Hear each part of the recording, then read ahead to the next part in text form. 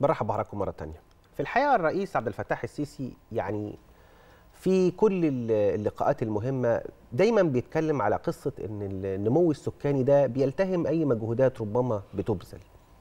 وخليني أقول إن آه، إحنا نشأنا كجيل يعني على حملات تنظيم الأسرة اللي كانت موجودة في التلفزيون وقت ذاك وكانت مؤثرة جدا في الريف المصري وكان في إقبال كبير من الستات المصريات وربما عملت بعض الإنجاز.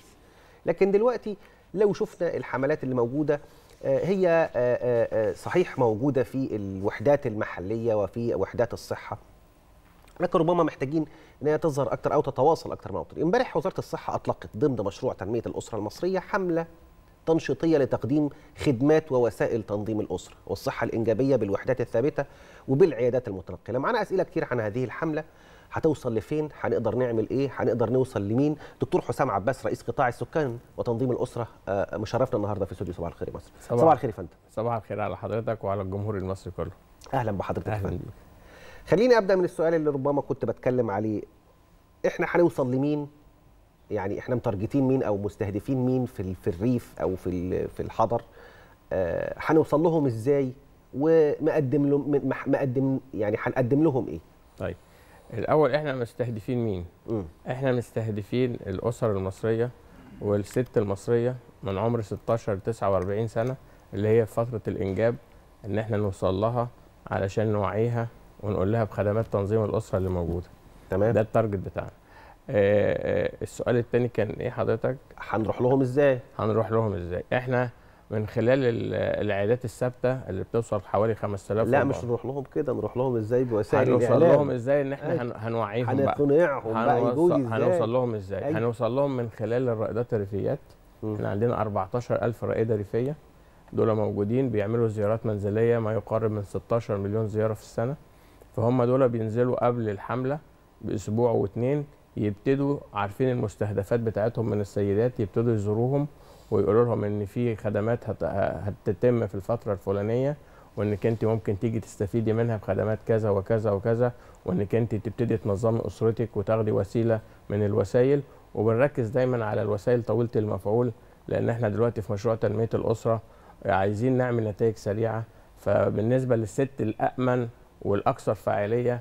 دايما نقول إيه اللي هي زي اللولب أو الكبسولة انها بتحطها دي 12 سنة ودي 3 سنين ما اجيش أقول لها خدي إقراص وننسى وكده.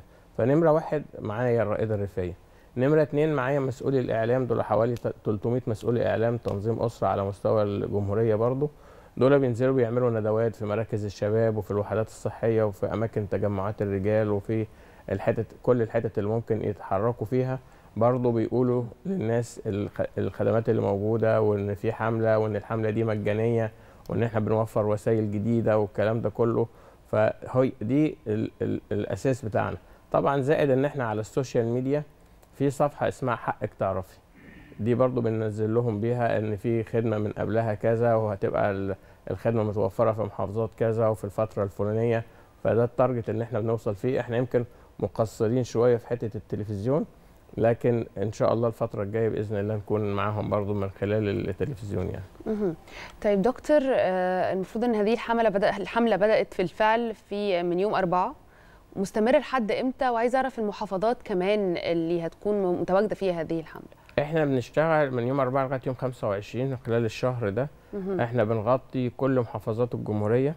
حملة زي حملة التطعيمات بتبقى الحملة دي حملة توعوية خدمية. يعني إحنا بنوعي الناس زي ما قلت لسيادتك قبل ما نبتدي مهم. وأثناء ما إحنا بنقدم الخدمة. وبعدين بنقدم الخدمة والخدمة دي بتبقى خدمة مجانية. كل الخدمات اللي إحنا بنقدمها سواء كانت الوسائل سواء كانت خدمة الكشف خدمة المشورة خدمة الموجات الفوق صوتية أو السونار كل الحاجات دي كلها بتتقدم للست أو لطفلها بتتقدم بالمجان. فبتستمر لمدة ثلاث أسابيع بنستهدف الستات اللي هم زي ما قلنا في سن الإنجاب. بنبقى عايزين نوصل لأكبر حجم من السيدات على أساس إن إحنا نقدر نعمل لهم آه، نحميهم من الحمل الغير مخطط ليه. لأن الستات بتبقى عايزة مثلا تنظم ساعات بس مش عارفة تنظم إزاي أو أو تاخد منين الوسيلة. فإحنا بنوفر لها العملية دي بحيث إن إحنا زي حملات التطعيم كده لما بتنزل تبقى على مستوى الجمهورية وعلى مستوى الإدارات كلها والمراكز وقرى حياة كريمة. نفس القصة إحنا برضو بالنسبة لحمله تنشيطيه لتنظيم الأسرة. الحملة دي ليها علاقة بحملة 100 مليون صحة جزء منها تتكامل معاها ولا دي حاجة؟ آه طبعا؟ بتتكامل معاها لأن 100 مليون صحة إحنا بناخد الأسرة كلها بجميع الخدمات آه، من خلالها. وبعدين الحمد لله إحنا بنقدم خدمات تنظيم الأسرة الست اللي بتيجي الوحدة الصحية فاحنا برضو بنقول لها على بقية الخدمات اللي موجودة في في الوحدة مش خدمات تنظيم الأسرة بس لا كل الخدمات اللي موجودة إن هي ممكن تحصل على هذه الخدمة طالما إن هي هتزور ال- الوحدة الصحية أو وزارة الصحة فكل الخدمات بتبقى متوفرة بالنسبة لها إن هي تاخدها. طيب دكتور بما إن حضرتك معانا دلوقتي خلينا برضو نعرف منك كده مبدئيا من يوم أربعة حتى اليوم يعني تقريبا عدى أسبوع آه، العدد من السيدات آه، عدد السيدات اللي تواصلوا أو عرفوا عن هذه الحملة أو بالفعل زاروا آه، آه، هذه الوحدات الصحية قد إيه؟ يعني يتناسب مع المستهدف؟ دي حاجة. تاني حاجة لو دلوقتي طبعا يعني في سيدات بيتفرجوا علينا عايزة أعرف من حضرتك ممكن يعرفوا من إزاي إنه هذه الوحدة أو الحملة دي موجودة في كل محافظة هم تابعين ليها؟ طيب أنا عايز أقول لسيادتك ان إحنا في الحملة اليوم العمل اللي إحنا بنعمله في الحملة تقريبا بيجيب 8 أيام عمل من الأيام الفعلية. يعني بقى 8 مكثف. أضعاف مم. 8 أضعاف من الشغل بتاع اليوم العادي. دي دي نمرة واحد. الست هتعرف منين؟ دي فرصة حضرتك كويسة إن حضرتك بتقوليها.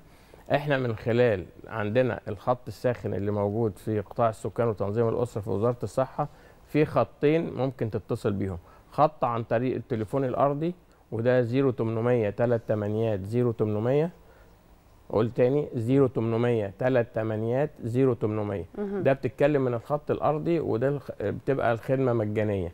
من يوم الأحد لغاية يوم الخميس في أوقات العمل من الساعة 9 لغاية الساعة 5 أي استفسار أو إن هي أي شكوى عايزة تتقدم بيها أو في قابلتها أي مشكلة أو هي عايزة تعرف مكان تقديم الخدمة فين إحنا ممكن نوجهها لمكان تقديم الخدمة.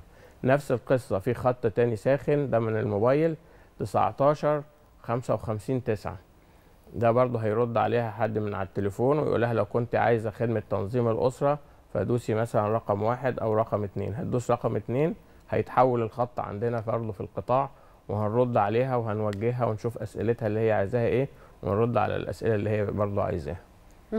طيب وعدد السيدات اللي اللي قدروا إن هم يستفيدوا من هذه الحملة حتى الآن؟ طبعا إحنا بنحصر ال- ال- العدد بس بعد ما الحملة بتنتهي. يعني ما بنبقاش ماشيين بقى آه، بصفة يومية. لكن هي الحملة بتبقى كويسة وبيبقى التركيز زي ما قلت لحضرتك على وسائل طويلة المفعول. وبالمناسبة برضو أنا أقول للستات يعني بالنسبة لمصر إحنا عندنا تسع وسائل موجودة قبل كده. يعني عندنا آه، الحبوب الأحادية والحبوب المركبة وعندنا الحقن الأحادية والحقن المركبة.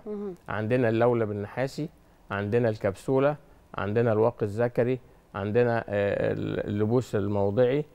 وعندنا حبوب الطوارئ دول التسعة الأساسيين وزارة الصحة في الحقيقة في الفترة الأخيرة في مشروع طيب استاذنك الأسرة بس يعني اعذرني لقطع كلام حضرتك استأذنك تعيد مرة أخرى على السادة المشاهدين آه، الخط الساخن رقم الخط الساخن وأيضا رقم الأرضي عشان زمايلنا آه، في الإعداد يكتبوه لنا يعني. يكتبوه أمام السادة المشاهدين بالنسبة للخط الأرضي 0800 3 0800 مهم.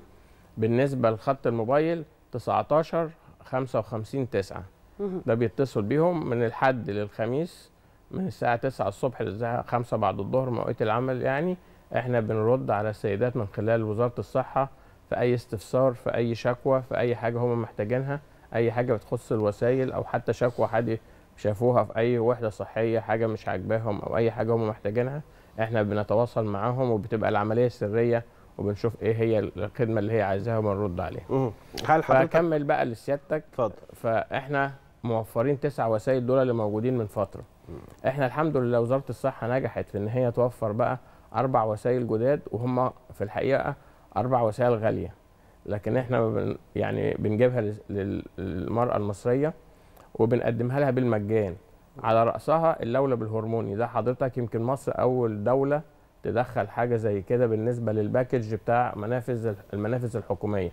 اللولب ال- الهرموني ده الناس ما كانتش بتلاقيه وكان موجود في القطاع الخاص بس وكان ثمنه 1000 جنيه. فده وزارة الصحة وفرته وموجود دلوقتي في مراكز إحالة موجود عندنا وبيتقدم للستات والدكاترة كلها متدربة عليه وبيتقدم بالمجان. كل الوسائل بتاعة تنظيم الأسرة بتتقدم من خلال وزارة الصحة بالمجان. في الأقراص بقى الجديدة اللي هي موجودة أقراص منع الحمل سواء كانت الأحادية أو المركبة دي برضو وفرناها للسيدات. الجيل الجديد ده بيبقى نسبة الهرمون بتاعتها أقل الفاعلية أكتر الآثار الجانبية بتاعتها بتبقى أقل من الاقراص التانية فبرضه دي وفرناها للست. برضه في لولب اسمه اللولب المالتي لود أو الشجيري ده برضه وفرناه علشان نركبه للسيدة أثناء القيصرية. وده بيكون أكثر ثباتا كمان من اللولب النحاسي مم. الدكاترة اللي هيشاركوا في الحملة تم اختيارهم إزاي وتوزعوا إزاي و... والأماكن هتبقى يعني بالنسبة للوحدات المتنقلة عارفين الوحدات الثابتة بتبقى الوحدات الصحية. الثابتة اللي معروفة في تمام. كل نجعة أو قرية أو مركز لكن الوحدات المتنقلة دي يعني الناس تعرفها إزاي وزارة الصحة عندها 582 عيادة متنقلة مم. بتستخدمهم على مستوى الجمهورية تمام. إحنا بنختار ال- ال- الاطباء المشاركين معانا بيكونوا يا إما أخصائيين يا إما استشاريين بناخدهم يا إما من الرعاية الأساسية اللي موجودين معانا شغالين معانا أو إن إحنا بنستعين بيهم من آه، مستشفى الطب العلاجي من مستشفيات وزارة الصحة بناخد أخصائيين النساء وبينضموا إلينا علشان نزود كمية الأطباء المشاركين في الحملة اللي هيقدموا الخدمة. وبيكونوا طبعا مدربين على تنظيم الأسرة وعلى تركيب اللوالب والكبسولات والحاجات الحديثة. ونبتدي نختار الأماكن كل يوم بيختلف المكان اللي إحنا بننزل فيه. بس طبعا بنستهدف القرى حياة كريمة بنستهدف المناطق اللي هي ممكن تكون مش متغطية بالخدمة الصحية المناطق الصناعية المناطق اللي هي تعتبر جديدة بالنسبة للسكن تكون لسه الشباب بيبتدي يسكن فيها المناطق اللي هي المدن الجديدة. كل دي بتبقى مستهدفينها إحنا من خلال الحملة اللي إحنا بنشتغل فيها. طيب دكتور لو هنتكلم كمان عن جانب آخر الحقيقة يمكن آه، مختلف وبعيد عن الصحة هو إقامة آه، معارض لنوادي المرأة أثناء الحملة ده إيه أهميته وتكلمنا عنه بشكل. نوادي المرأة الفكر بتاعها إن أنا عايز أعمل تمكين للمرأة مهم. عايز أعمل تمكين اقتصادي وصحي واجتماعي اقتصادي إن أنا في نادي المرأة ب- بوفر للست إن هي أحاول أديها مهارات أديها خبرات إن هي تنمي شخصيتها مهاراتها اليومية مهارات يدوية إن هي تتعلم الخياطة تتعلم حرفة تتعلم حاجة بحيث إن أنا أوفر لها دخل ثابت كل شهر يبقى موجود. أنا من خلال بقى الحملات ومن خلال ال- القوافل اللي إحنا بنعملها بحاول إن أنا أعمل بقى للست معارض لهذه المنتجات بحيث إن أنا أساعدها في التسويق بسوقها لها والدخل بتاعها بيخش إيه للست اللي هي تعتبر مشاركة معايا في النادي بيبقى إيه ليها هذا الدخل بعد كده. عشان كده إحنا دايما في الحملات بتاعتنا وفي القوافل دايما بيبقى بجانب ال- الخد الجزء الخدمي بيبقى فيه جزء تمكين اقتصادي بالنسبة للمرأة ونعمل لها هذه المعارض. على أي حال إحنا بنشكرك يا دكتور. الدكتور حسام عباس رئيس قطاع السكان وتنظيم الأسرة. شكرا جزيلا لحضرتك. ربنا كلمتنا عن الحملة اللي هتنطلق يعني أو انطلقت بالفعل من أجل تنظيم الأسرة. بنتمنى إن كل المصريين اللي سامعينا يعني إيه يشاركوا في هذا الأمر. طبعا يعني آه، بنشكر حضرتك جزيل الشكر مرة تانية على كل هذه الإيضاحات والمعلومات. دكتور حسام عباس رئيس قطاع السكان وتنظيم الأسرة. تحت أمرك. شكرا.